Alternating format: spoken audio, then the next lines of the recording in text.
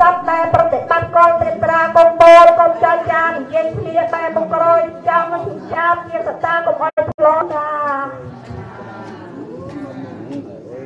គ្រានោះសង្ហំបតៃ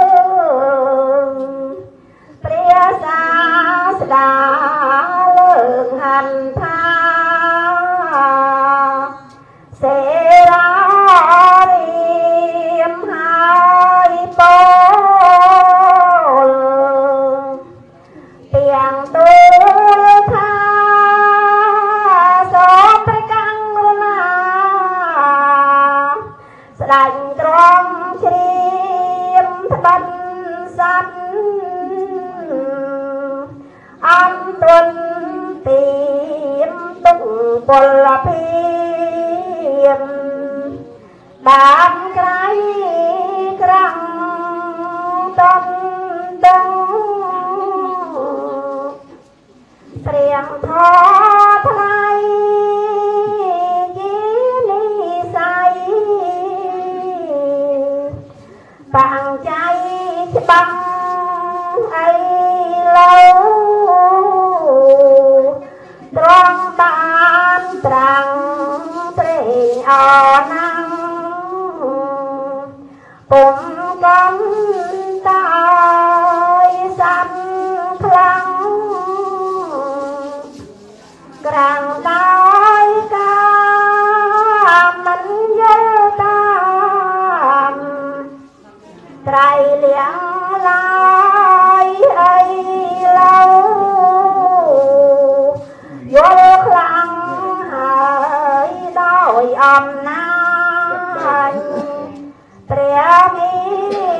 នបំនេះពូកណាបាអូបាកាលទៅមកអូទេស្ដាប់ទាំងស្នា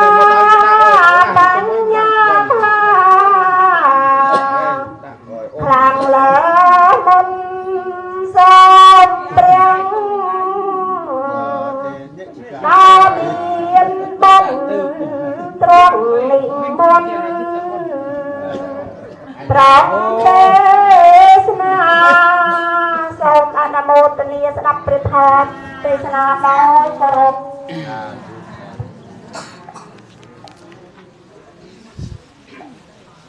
អ្នកមោតស្សៈភគវៈតោ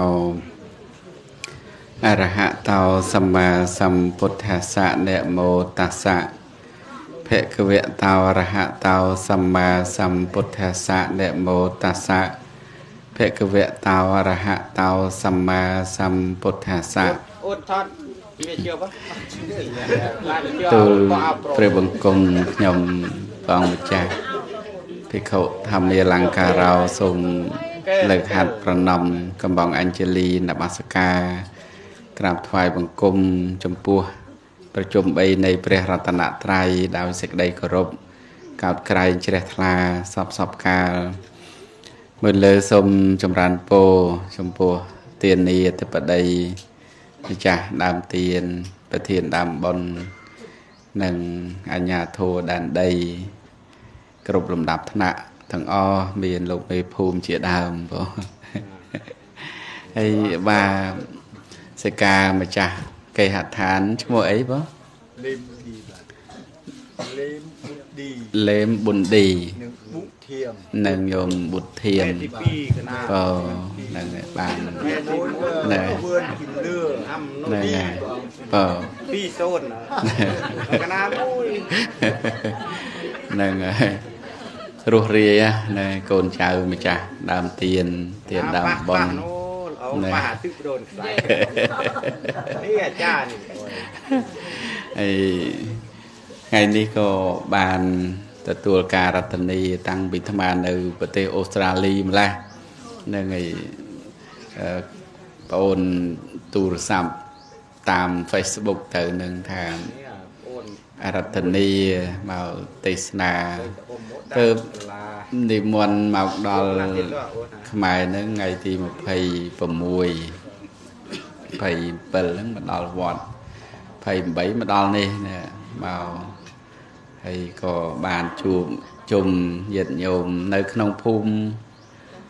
បន្ទាយឆ្មាខាងលិចបើឃុំបន្ទាយឆ្មាស្រុកថ្មពួកខេត្តបន្ទាយមានជ័យក៏មកពីបុរីរ៉ាំផងអូអូមានពីខាងបុរីរ៉ាំមកដែរហ្នឹងហើយអូបានជើញមកពីខាងចម្រើនផនញាតិញោមបានជើញមកជួបជុំធ្វើបន់ ធ្វើទៀនហ្នឹងហើយសប្បាយចិត្តទេញាតិញោមធ្វើបន់អញ្ចឹងហើយបានមកក្រាក់មកក្រឹកដែរបានតែក្រានេះបានតែក្រានេះហើយញោមញោមខ្លះមកតលតែបានអានឹងបានមកប៉ិនមានអ្នកស្រុកនេះណាអ្នកនៅនោះមកនិយាយទៅប៉ះពាល់កណ្ដាលអឺ លឺតែវាយមូទៅបានមូគុំមួយដូចវាយដូចព្រៀបនៅម្សាច់អឺបុរាណយើងបុរាណយើងបានពោលថាស៊ីមួយជូរទឹកប្រហុកគង់គេលន់មាត់ឆ្ងាញ់ស្ដាប់ធូននោះវិញមិនលឺឆ្ងាញ់សោះចាយលុយធ្វើទៀនមានតែភ័យខ្លាចអស់ត្រង់តណេះតណោះអស់ប្រមាណក៏អស់ទៅមានតែអ ត់ចូលអាក្រៅគេដែលស្វល់ហើយអូនចេះអូនចង់ណែហ្នឹងហើយត្រង់មកធ្វើបន់ធ្វើទៀនគិតសពគ្រប់ញោមតម្រង់តែបានចេញពីកប៉ៅមកដល់ពេលតណេះតណោះប៉ះពាល់កណាមកក្រោយគេអូរបស់ចឹងថ្ងៃនេះបានរៀបចំពិធីបុណ្យឆ្លងដើមពោត្រូវទេញោម ហ្នឹងហើយដើមពោមកចង់ឲ្យញាតិញោមយល់រឿងដើមពោបន្តិចដែរហ្នឹងហើយពីព្រោះយើងចេះតែហៅដើមពោដើមពោប៉ុន្តែមិនដឹងថាដើមហ្នឹងឈ្មោះមែនទេហ្នឹងឈ្មោះអីហ្នឹងយើងអត់ដឹងទេមានដឹងឈ្មោះដើមនឹងដើមអីទេពិតប្រកបញាតិញោមហ្នឹងហើយអឺដើម នឹងពីដើមមុនពពុតគង់ក្រោមដើមនឹងដើមនឹងឈ្មោះអសត្ថព្រឹកបើអសត្ថព្រឹកហ្នឹងហើយដល់ទៅពេលព្រះសម្មាសម្ពុទ្ធគង់ក្រោមដើមហ្នឹងហើយត្រាស់ដឹងនៅចតុរារិយសច្ចៈត្រាស់ដឹងនៅសច្ចៈធម៌ហើយបានព្រះអង្គคลายទៅជាពុទ្ធ ទៅដើមហ្នឹងក៏និយមហៅតតគ្នាមកថាដើមពោដើមពោដើមពោអញ្ចឹងមកប៉ុន្តែយើងសរសេរពោស្រៈអោធោស្រៈអេពោធិប៉ុន្តែយើងអានអត់អស់ហ្នឹងអានត្រឹមដើមពោដើមពោតាមពិតបាលីពេញពោធិហ្នឹងហើយអានអានត្រឹមតែពោក៏បានប៉ុន្តែ ធោស្រៈអេហ្នឹងទៅតិនខៀតសម្រាប់សំលេងធិចេញប៉ុន្តែនៅក្នុងន័យថាពោធិពោធិបាលីដដែលហ្នឹងប្រែមកថាត្រាស់ដឹងដើមនឹងប្រែមកថាដើមត្រាស់ដឹងបើយើងនិយាយឲ្យខ្លីមកថាដើមត្រាស់ដឹងមិនបានហៅថាដើមត្រាស់ដឹងពីព្រោះដើមនឹងព្រះពោធិសត្វគង់ក្រោមដើមនឹងហើយ អភិនិហាបារមីអភិសេកព្រះអង្គដោយការសន្សំបារមីគ្រប់គ្រាន់ទៅក៏ព្រះអង្គត្រាស់ដឹងហើយក៏មានញាណទាំងឡាយអភិសេកព្រះអង្គខ្លៅទៅជាពុទ្ធមួយអង្គក្នុងលោកនឹងអត់មានពីណាមកប្រៀបប្រដូចទៅនឹងព្រះអង្គបានទេប្រអិនប្រព្រំព្រះអតិទេពអីក៏មិនអាចមកប្រៀបប្រដូចទៅនឹងព្រះពុទ្ធអង្គបានដែរ ចឹងហើយបាន មនុស្សនិងទេវតាធ្វើសក្ការៈបូជាថ្វាយបង្គំសូត្រធម៌ហ្នឹងញោមខ្លះក៏មិនតាន់ភ័យមិនតាន់នឹកដល់ព្រះទេចាំមើលដល់ភ័យបាននឹកឃើញព្រះហ្នឹងហើយអញ្ចឹងបានយើងធ្វើពិធីបុណ្យនេះគឺរំលឹកដល់ការត្រាស់ដឹងរបស់ព្រះអង្គ នៅពេលដែលព្រះអង្គគួងក្រោមដើមនឹងពេលដែលយើងថ្វាយបង្គំទៅយើងនឹកដល់ញាតិញោមចេះនមោតាសៈ3ចប់គ្រប់គ្នាណាចាណាបានពោះទៅចេះចាំអត់ណាព្រោះនេះដើរនឹមចាំនមោនមោខុសពីអ្នកមិនមោណាក្រាមុនបងប្រងតែមោឲ្យដល់អានឹកឃើញអាបត់នោះហើយអ្នកមោអឹមបើថាអ្នកនោះ ទោះបីមោអាយ៉ានោះបានទេបើទោះបីមិនបានបួសក៏ចេះដែរសំបីអ្នកធ្វើអីក៏ត្រូវសូត្រនមោមុនមែនណាហ្នឹងហើយដាក់ស្នែគេក៏សូត្រនមោមុនដែរ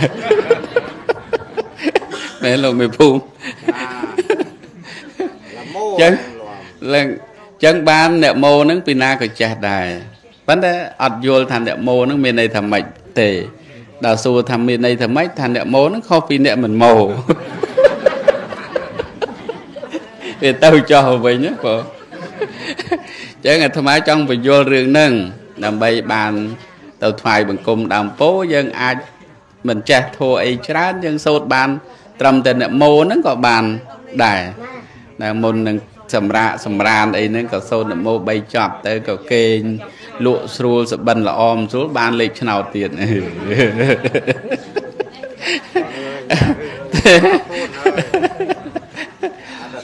ទៅទីព្រោះប៉ុនឲ្យផលពេលខ្លះធ្វើអីក៏សំ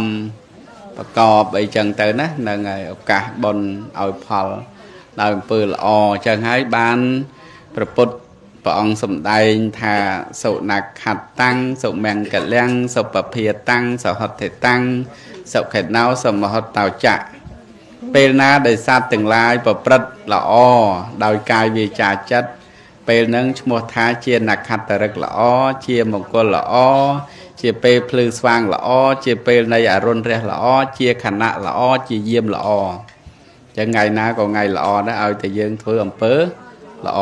ហើយផ្ទុយទៅវិញថ្ងៃណាក៏ថ្ងៃសោយដែរតែយើងធ្វើអាក្រក់បើមិនជឿសាកលួចគោឲ្យគេឃើញមើលបើមិនឈប់គុកហើយពេលនេះអាញាធោហ្នឹងហើយអញ្ចឹងឥឡូវងាកមកអ្នកមោមកវិញអ្នកមោតាសៈណាណាញោមអ្នកមោតាសៈភគវៈតោអរហតោសម្មាសម្ពុទ្ធស្សៈនៅញោមណាក៏ចេះដែរណាហ្នឹងអាត្មាចង់ឲ្យញាតិញោមដឹងថាអ្នកមោតាសៈនេះមានន័យថាម៉េចអ្នកមោរីកិរិយានមស្ការដែលយើងប្រើតាមភាសាបាលីយើងដាក់មេនៃខ្ញុំអត្ថុចូលមានភគវៈតោចំពោះព្រះដ៏មានប្រភពហ្នឹងហើយចំពោះព្រះដ៏មានប្រភពតាសៈអង្គនោះអរហតោព្រះអង្គជាព្រះអរហន្ត សម្មាសម្ពុទ្ធស្សៈព្រះអង្គត្រាស់ដឹង នៅញេយធោទាំងពួងដោយប្រពៃចំពោះព្រះអង្គឥតមាន គ្រូអាចារ្យណាប្រដៅព្រះអង្គបានឡើយអាហ្នឹងបើយើងប្រែធនអ្នកម៉ូហ្នឹងប្រែមកអញ្ចឹងហ្នឹងហើយយើងមិនដឹងក៏គិតថាអ្នកម៉ូហ្នឹងប្រហែលជាខុសពីអ្នកមិនម៉ូហើយហ្នឹងហើយតាមពិតអ្នកម៉ូហ្នឹងគឺគេចងក្រងជាពាក្យដើម្បីគោរព ចំពោះព្រះសម្មាសម្ពុទ្ធហើយបញ្ចុះក្នុងគុណទាំង3គុណ3ហ្នឹងបង្កប់ក្នុងធម៌នមោហ្នឹងឯងញាតិញោមគុណពុទ្ធណាណែពេលខ្លះយើងអត់ដឹងទេអញ្ចឹងបានចេះយើងដឹងថាដឹងតែត្រឹមថាំងផែលនមោនធัวប្រកែហើយប៉ុន្តែបើយើងស៊ីជំរឿក្នុងខ្លឹមសារប្រកែមែនប្រកែក្នុងគុណទាំង3ហ្នឹងភគវៈតោហ្នឹងគឺបង្កប់ក្នុងគុណមហាករុណាតិគុណ នឹងព្រះអង្គមានគុណធំធេងណារោងអ្នកណាឲ្យដូចព្រះអង្គមិនបានទេការសន្សំអភិនិហាបារមីសពគ្រប់ទាំងអស់ហ្នឹងដើម្បីស្រោចស្រង់សត្វលោកហ្នឹងឲ្យរួចអំពីសេចក្តីទុកហ្នឹងហើយ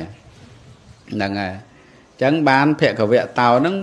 បង្កប់គុណមួយ គឺមហាករុណាតិគុណនឹងញាតិញោមត្រូវចាំទី1អរហតោអរហតោនេះប្រែថាព្រះអង្គជាព្រះអរហន្ត អរហន្តអស់កិលេសណាលោភៈទោសៈមោហៈអត់មាននៅក្នុងបតីក្នុងចិត្តរបស់ពុទ្ធទេអញ្ចឹងព្រះអង្គមានគុណបង្កប់ក្នុងនឹងមួយទៀតបាលីហៅថាវិសុទ្ធិគុណព្រះអង្គមានភាពបរិសុទ្ធមានសេចក្តីបរិសុទ្ធដោយសារបតីរបស់ព្រះអង្គអត់មានកិលេសជាគ្រឿងសៅមងហ្នឹងត្រង់ពាក្យថាអរហតោហ្នឹង ដល់ទៅឃ្លាចុងក្រោយសម្មាសម្ពុទ្ធស្សៈនឹងបង្កប់គុណមួយទៀតញាតិញោមបង្កប់គុណមួយទៀត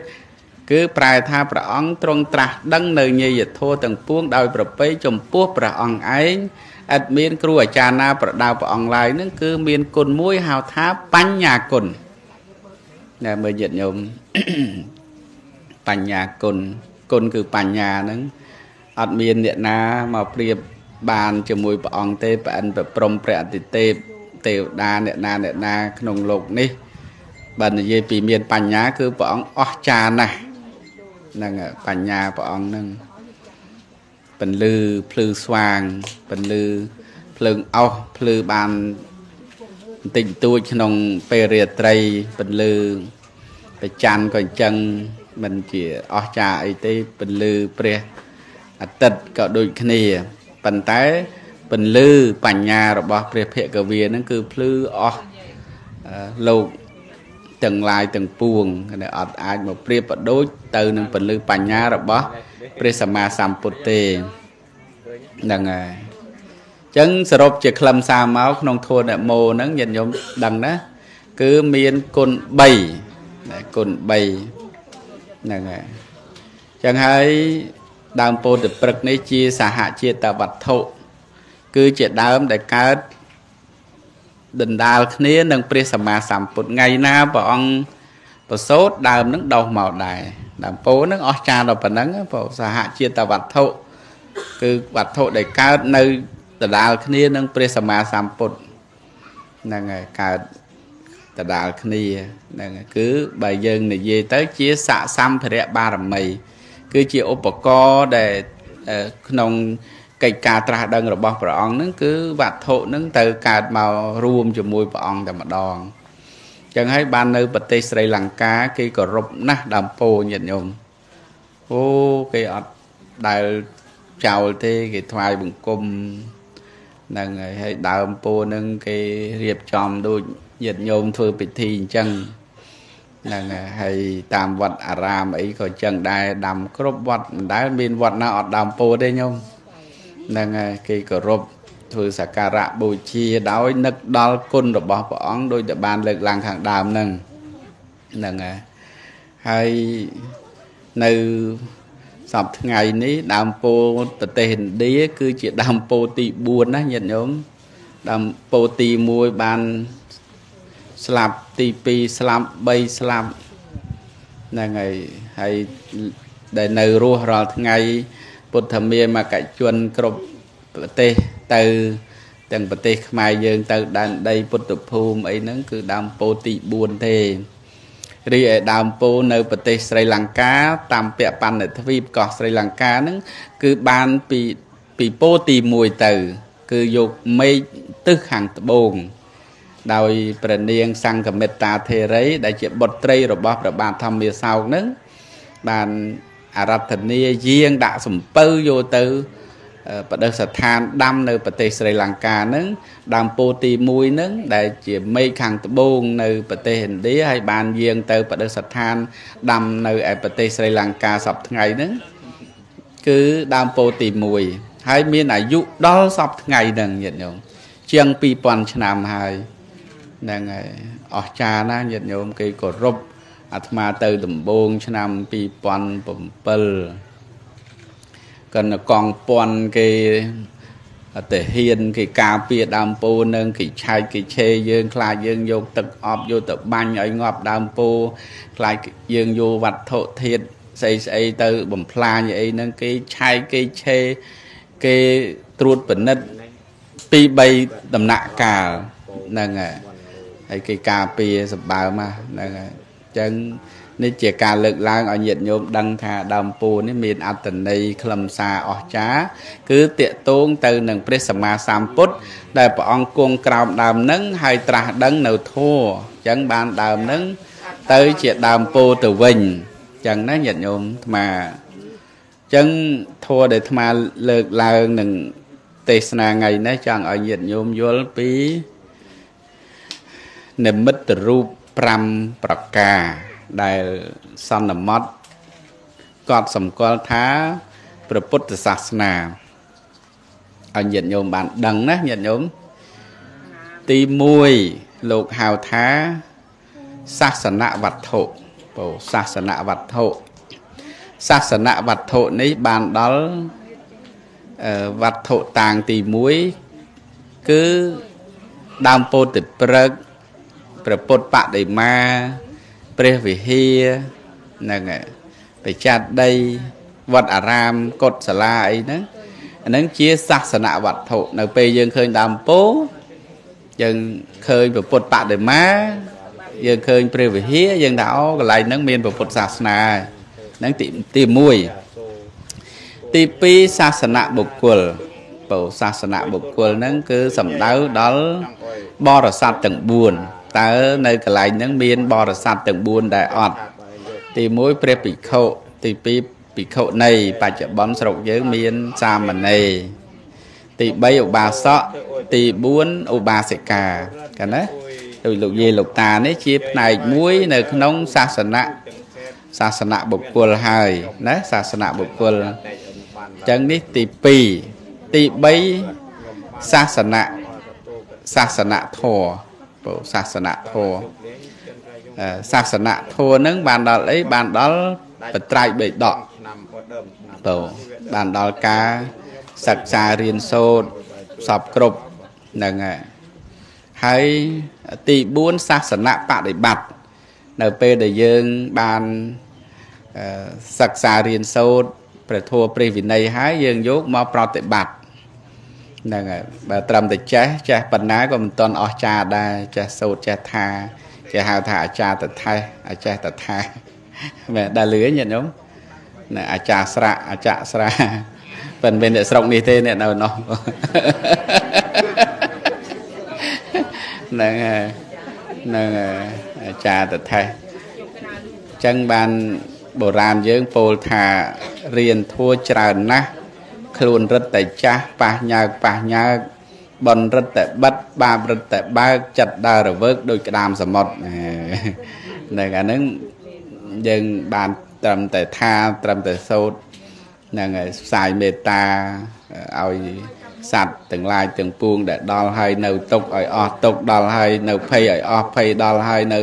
សេចក្តីសោកឲ្យអស់សេចក្តីសោកដល់ពេលមកផ្ទះវិញ ឆ្មាស៊ីត្រីអាំងវៃឆ្មាចង់ងាប់មេត្តានៅតែក្នុងសាលាមេត្តានៅតែក្នុងព្រះវិហារមេត្តានៅតែក្នុងវត្តអាហ្នឹងនេះជាខ្លឹមសារមួយ ចង់ឲ្យញាតិញោមបានជ្រាបចឹងណាញាតិញោមហ្នឹងហើយដល់ទៅនិមិត្តសម្គាល់ទី5នោះគឺសាសនៈវិធីនេះនេះសាសនៈវិធីណា យើងរៀបចំពិធីឆ្លងដើមពោនិមន្តប្រសង់មកយើងក៏រៀបចំនមស្ការសមាទានសិលចម្រើនព្រះបរិត្តបន្ទាប់មកនិមន្តលោកទេសនាហោហែរហូតដល់ចប់សពគ្រប់ប្រការហ្នឹងលោកហៅថាសាសនវិធីអញ្ចឹងទីតាំងណាកន្លែងណាដែលមាន និមិត្តសញ្ញាទាំង5ដោយដែលអាត្មាបានលើកឡើងខាងដើមហ្នឹងលោកហៅថាទីនោះមានព្រះពុទ្ធសាសនាហើយក៏សូមអនុមោទនីសាធុ3ដងញោមតែ3ដងបានយោទៀតអញ្ចឹងការសម្ដែងពធទេសនាក៏ដល់ពេលចប់តែប៉ុណ្ណេះឯងបងសូមបុណ្យកុសលទាំងអស់ដែលកើតឡើងពី ធម្មទានតេតងនឹងដើមពោសូមបុណ្យកុសលនេះកើតមានដល់ញាតិញោមទាំងអស់ជាពិសេសម្ចាស់តាមទីនប្រធានតាមបុណ្យសូមឲ្យញាតិញោមទាំងអស់រួចផុតចាកទុក្ខកុំបីឃ្លៀងឃ្លាតខ្លាចជាបការៈដតីឡើយការសម្ដែងពធទេសនាសំគួរដល់ពេលវេលាប៉ុណ្ណេះឯងអេវ៉ាំង